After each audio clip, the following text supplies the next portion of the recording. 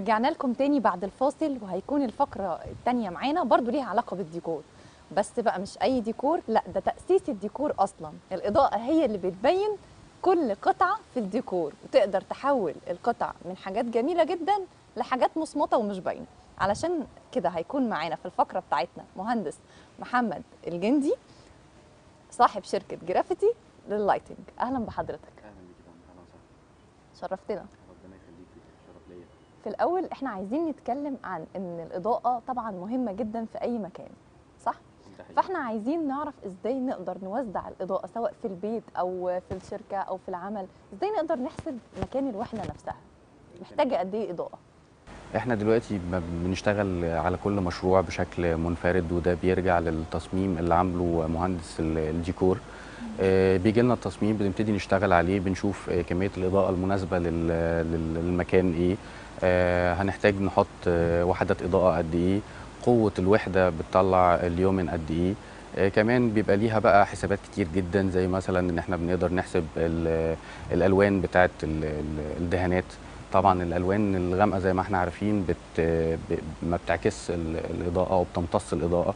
الألوان الفاتحة كلها بت- بتعكس الإضاءة وبتخلي الإضاءات لونها أفتح. فبنحط في اعتباراتنا كمان ارتفاع الأسقف وتوزيع الأساس فاحنا بنشتغل من بعد مهندس الديكور على طول وبنرجع له لو في عندنا آه، مشكلة في الإضاءة لقينا الإضاءة هتبقى قليلة في مكان فبنرجع له بنقول له إحنا محتاجين نزود الوحدات بتاعة الإضاءة أو نزود قوة وحدة الإضاءة نفسها طيب هل طبيعة المكان بتفرق في كمية الإضاءة ولونها؟ آه طبعا يعني لو جينا قسمنا إضاءة منزلية بيكون التقسيم بتاع الإضاءة وتوزيع الإضاءة ودرجات ألوان الإضاءة بتكون مختلفة تماما عن الإضاءة اللي بستخدمها في في الكافيهات مثلا أو في المطاعم أو في في المستشفيات في البنوك. في ال business area لا بتبقى بيبقى ده ليها ده ليها توزيع وليها درجات في الألوان غير الدرجات الألوان بتاعه الأماكن المفتوحة. يعني دايما في في البيوت مثلا بنقول إن هنحط إضاءة آه، من أول 2500 كلفن وكلفن دي درجة آه، أو آه، أو وحدة قياس. يعني كلمة آه كلفن هي وحدة قياس درجة حرارة اللون. عندنا ألوان اللي إحنا بنسميها الورم والأبيض. لا دلوقتي في كمان تصنيف الورم والأبيض تصنيفه إيه؟ رقمه كام؟ دلوقتي بقى ناس عندها ثقافة عندنا يعني أو الثقافة المعروفة شوية إنه درجة الإضاءة دي وده السؤال اللي لسه كنت هسأله لحضرتك إن درجة الإضاءة دي هي عبارة عن آه، ال warm اللي إحنا والأبيض ال warm. والأبيض بس. لا دلوقتي كمان بقى في إن إحنا نقدر نقول نوصف كمان. ال warm أنهي درجة في ال warm؟ ال warm درجات كتير الأبيض درجات كتير. يعني آه، طبعا على مدار اليوم هندسة ربنا في الكون إن يكون في إضاءة الصبح إضاءة باهرة إضاءة بيضاء لزوم الحيوية والنشاط وال- والحركة والعمل. آه، بتبتدي تقل على مدار اليوم وتبتدي درجة حرارة اللون تزيد لحد ما تنطفي خالص بالليل ويبقى فيه القمر والنجوم بس. اللزوم بقى ال- ال- الاسترخاء وال- والهدوء والسكينة والنوم. فحتى طبيعة الكون نفسه ماشية بإن الصبح يبقى إضاءة باهرة قوي إضاءة عالية قوي تورينا تفاصيل تحفزنا على النشاط وعلى الشغل. بالليل إضاءة قليلة يعني خالص وخافته جدا. أو مكان مثلا سكني محتاجة قد إيه إضاءة؟ آه، كل مشروع لوحده يعني كل مش كل مشروع كمان ده كل غرفة في كل مشروع لوحدها. حسب استخدامها. حسب استخدامها وحسب توزيع الأساس وحسب الديزاين اللي معمول وحسب وحدات الإضاءة نفسها هتكون هتكون إيه فكل مشروع لوحده بل وكل غرفة يعني كمان لازم تبقى عارف كمان الفرنتشر اللي هيتحط والوانه عشان تقدر تحدد مثلا ده طبعاً. هيمتص الضوء أو يعني طبعا لو إحنا عندنا هندسي بقى مش مجرد سبوتات بتتحط كده وخلاص بالظبط طب ما هو ده هيخليني أسأل حضرتك إنه دلوقتي طالما الإضاءة دي حلوة كده وجميلة وبتبرز التفاصيل طب. ليه إحنا ما نستخدمهاش في البيت؟ في البيت على طول. أو نستخدمها مثلا في الشركة علشان برضو الشركات بيبقى فيها مثلا محتاجة مثلا قراءة مم، محتاجة. أعمال ف... ده ده حقيقي.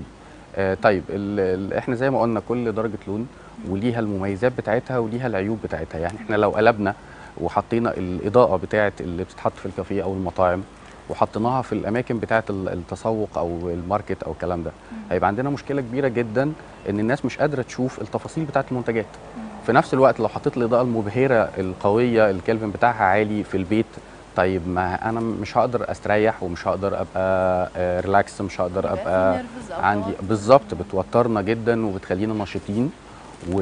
و... و... ودي دي طبيعة زي ما قلنا طبيعة الكون وهندسة ربنا في إن يبقى الصبح الإضاءة قوية وبعد كده بعد الظهر الإضاءة تبتدي تقل وتقل لحد ما يوصل خالص لأن مفيش إضاءة خالص غير بس ال... ال... الإضاءة بتاعة القمر والنجوم اللي هي الشمعة اللي إحنا بننام عليها يعني طب وده ليه طب لو أنا عايز أستفاد من الإضاءتين افرض مثلا عميل جه قال لك أنا عايز عايز كله على بعضه في option واحد.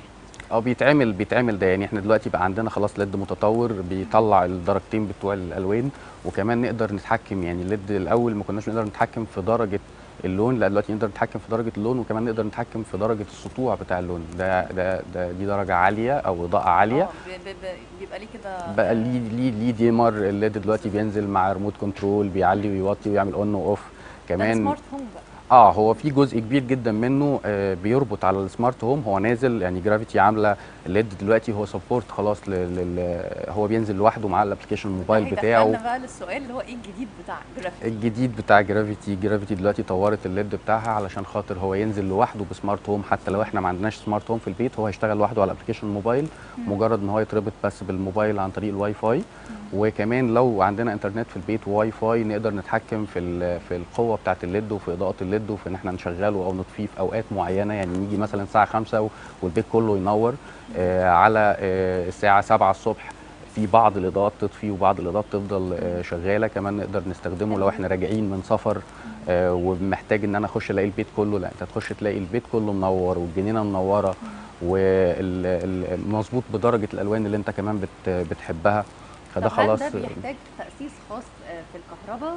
ولا ممكن إنه مثلا بعد ما أكون مخلصة الكهرباء نفسها آه، أو مخلصة مثلا تشطيب فقررت إن أنا عايزة لأ أخلي البيت سمارت هوم آه لو إحنا بنتكلم على سمارت هوم لوحده لأ ممكن دلوقتي في حاجات متطورة جدا آه بنقدر نشيل بس بنغير المفتاح بتاع الكهرباء أو نغير الفيشة بتاعة الكهرباء ونحط فيشة تانية أو مفتاح تاني هو بيكون سبورت لأن هو يكون آه من غير تكسير أو من غير تكسير من غير أي وصلات على النظام القديم بتاع بتاع البيت وهو بيقدر يتحكم بقى خلاص إحنا كده ركبنا switch للبيت كله لكل فيشة بنديلها رقم وفي الآخر بنجمع group ال group ده فيه ال reception كله مثلا في المطبخ كله مثلا فإحنا لو نسينا آه، سخان شغال وإحنا مسافرين نقدر نقفله نسينا آه، ممكن نقفل ال group كله نقفل البيت كله نعمله off آه، طيب ما أنا عندي ثلاجه الثلاجه فيها أكل. صح ما. هت- هتبوظ. لا ممكن أشغل الثلاجه لوحدها يعني أقفل البيت كله وبعدين أشغل الثلاجه بس لوحدها أو الجهاز اللي أنا كل ده من محتاجه. على ال phone. بالظبط كل ده من على ال phone من أي مكان في العالم عن طريق ال ال ال الإنترنت. أقدر أخش على ال application وكمان في البيت ممكن أقدر أستخدم ال- الفيش أو أستخدم ال- المفاتيح أو الكوبسات دي بأوامر صوتية. يعني أنا أقول له بس on أو off وهو يشغل هو يشغل هو يشغل ده لوحده. كمان آه، في أجهزة دلوقتي زي الت- التلفزيون السمارت بيدعم أصلا سمارت هوم آه. فأقدر أتحكم في القناة نفسها. يعني أقدر أقول له شغل لي آه، قناة صحة برضه عشان وجمال. أنا جاي تعبان. بالظبط بالظبط. مش هقعد أدور على الريموت والحجارة والكلام ده كله. ما بقاش فيه والبطاريات وال... المفقود دايما في البيت. وبيتكسر وبيقع والبطاريات بتاعته بتفضى. لا دلوقتي بقى الموضوع أسهل بكتير.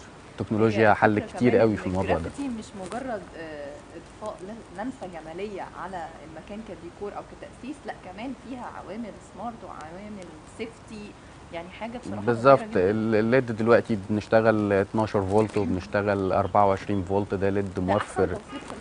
بيوفر كتير جدا في الكهرباء safe تماما وآمن تماما ما بيكهربش ما بيسخنش ما, ما, ما دايما في شريط ال LED بنلاقي شريط ال LED بيقع مننا لا آه، في ال ده في ال 24 دايماً فولت 12 كارثة فولت. وبيتعوج وبيعمل shadow عندنا دلوقتي ال LED profile ألومنيوم بيخلي ما فيش shadow في لو إحنا حطينا ال LED في في, في ال hidden light أو في, في ال cove light ما بيبقاش فيه التعرج والظلال اللي بتظهر عندنا في بيبقى ال- عندنا برضو في آه، أزمة كده بتقابلنا في ال kitchen أو في المطابخ إن أنت عندك فوق بيبقى فيه light وتحت وتحت، مفيش في الجزء اللي أصلا الست مكان مستخبي. مكان مستخبي ما بين ال... عايزة كشافات كده في آه وعندها برضه ال kitchen بتاع المطبخ كله بقى وال- والحاجة بتاعتها كلها بتكون مظلمة تماما آه، الإضاءة اللي فوق في السقف ما بتوصلش ما بين العلبتين مم. فاحنا عندنا دلوقتي آه، LED profile ألومنيوم وعندنا LED panel بيتعمل بالمقاسات بتاعة المطبخ وبيركب محتاجة شرح قوي لأن آه. الموضوع ده مهم جدا على فكرة للستات يعني الموضوع ده أكتر حد هيتابعه لأنه أهم حاجة إن إحنا بنيجي نأسس ال kitchen بجد فعلا بنفضل نعمل داير ما يدور آه، في الإضاءة بنعمل في المطبخ وبيبقى تكلفة فعلا. بيبقى تكلفة وفي الآخر ما بيطلعش ما بيطلعش بشكل كويس. عندنا LED profile ألومنيوم دلوقتي دي كذا قطاع ممكن يتعمل في تأسيس المطبخ وممكن يتعمل بعد ما المطبخ ركب. بينور الجزء اللي تحت باضاءه عالية جدا آه بيبين. آه، في في تفاوت يعني ال LED panel آه، مختلف شوية عن ال LED line. الاضاءه بتاعتهم قريبة جدا من بعض بس في حد حابب شكل ال LED يكون line بس أو خط آه. خط بس. وفي حد تاني لا هو عايز العلبة كلها دلوقتي. خلاص بنعمل العلبة من تحت العلبة. بتاعت المطبخ منورة على العلبة السفلية أو على الرخامة ال- ال- اللي تحت. ما آه. بيكونش فيها تأثير للمية للكهرباء لأن أنت واقف في مكان حساس يعني. حلو. هي بتشتغل 12 فولت أو 24 فولت فهي أصلا ما بتكهربش. سهل جدا إن إحنا نشيل وش البلاستيك بتاعها ويتغسل بالمية ويتنشف ويرجع يركب تاني. كمان بقى عندنا sensor دلوقتي حركة مش مضطرة تماما تحط ايديكي على المفتاح بتاع الكهرباء. انت مجرد ما هتشاوري للليد هو هينور هتشاوري له تاني هيطفي. وبيتحط ال sensor بزاوية معينة بشكل معين بحيث ان هو لو اي حد معدي أو أو رايح أو شغال في المطبخ ما يطفيش ويشتغل. لا هو مجرد ما يشاور في مكان معين هيطفي مجرد ما يشاور في مكان نفس المكان هل أنا مضطرة إن أنا أعمل نظام البيت كله؟ لو أنا حبيت أعمل ال kitchen بس هل ده متاح؟ آه طبعا ال kitchen بس متاح من أول متر واحد يعني نقدر ناخد متر واحد بس طولي نحطه في ال... بسعر المتر ولا بيتحسب بسعر المتر بس ودلوقتي سعر المتر آه؟ سعر المتر بيبدأ من أول آه 300 جنيه على حسب ال- القوة بتاعه الإضاءة بتاعته على حسب شامل كل حاجة طبعا شامل توريد وتركيب ودلوقتي عندنا ضمان كمان خمس سنين الحاجات دي long time العمر الافتراضي بتاعها كبير جدا بتشتغل من 30000 ساعة ل 40000 ساعة. آه، الصيانة بتاعتها بسيطة قوي قطع الغيار بتاعتها آه، مش مكلفة خالص و- و- وسعرها وسعرها بسيط. حلو جدا جدا موضوع الألياف الضوئية ده وخصوصا إنها تحكم فيها بال remote control زي ما حضرتك قلت كده. بالظبط. طيب أنا عايزه أعرف بقى إيه اللي بيميزها من ناحية ال safety من ناحية المميزات آه، الخاصة بالألياف الضوئية دي؟ الألياف الضوئية زي ما قلنا بتدينا شكل ال- ال- النجوم آه، وبتعكس نجوم السماء عندنا في ال- في البيت وده كله آه، هي آمنة تماما ما بتاخدش آه، تيار كهربي كتير.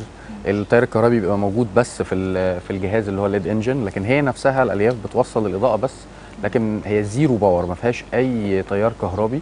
فبالتالي هي آمنة تماما مصنوعة من ألياف الزجاج أو من الألياف ال- البلاستيك. فما بتوصلش التيار الكهربي نقدر نعمل عدد نقط كبير جدا.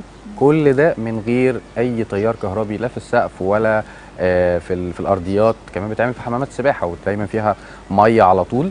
فهي ما توصلش آه، خالص ممكن عليها مية عادي جدا. بالظبط هي بتعمل تحت حمام سباحة كمان يعني بتبقى مش بتدي شكل النجوم تحت حمام سباحه فلا هي آمنة تماما آه، على الكبار وعلى الأطفال اللي ما بتتدخلش ملهاش أي ترددات وما بتتدخلش مع أي ترددات تانية وما بتخشش آه، تحت بند ان ان إن هي بتوصل للتيار الكهربي لا هي آمنة تماما. إيه اخر نصيحة تحب آه، نختم بيها فقرتنا آه، انك تنصحها للمشاهدين والمهندسين الديكور؟